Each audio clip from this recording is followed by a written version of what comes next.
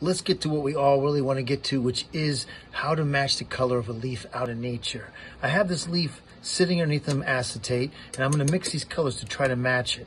All right, so I'm going to start with this nice yellow lake and ultramarine blue to go right at a nice, nice solid green.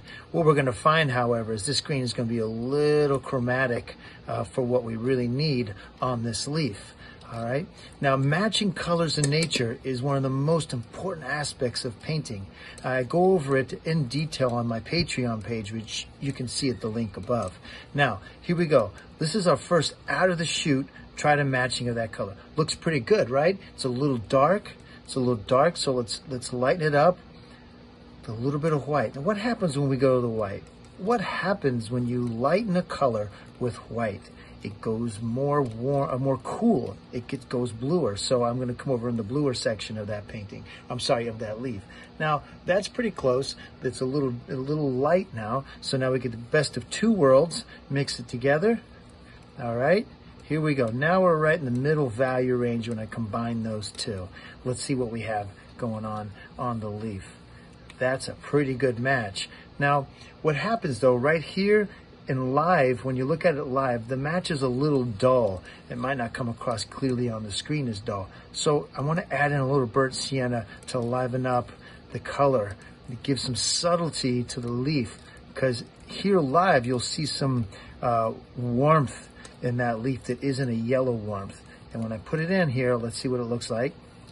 Now it's starting to look a little more like the leaf. Again, still too cool. All right, I need to add the yellow back in. Yellow and burnt sienna.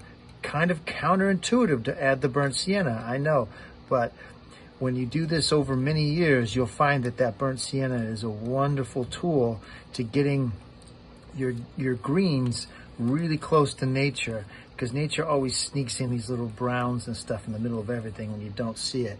All right, so that's how you want to approach uh, getting a leaf color out in nature, you want to start with getting the main uh, value range and then modulate the hue warmer, cooler, or more yellow, more brown, more blue until it comes up to something, something like this.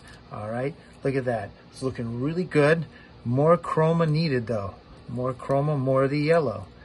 Gonna mix it in there. Now we're talking. All right. So that yellow lake really, really does us some good service here on this leaf. There you go. Now let's see what happens when you dumb it down with a little bit of red. All right. Just right out of the bait. A little bit experimenting going on here. Okay. You always want to try a little bit of experiments here and there once you've got the color nailed. That looks good also.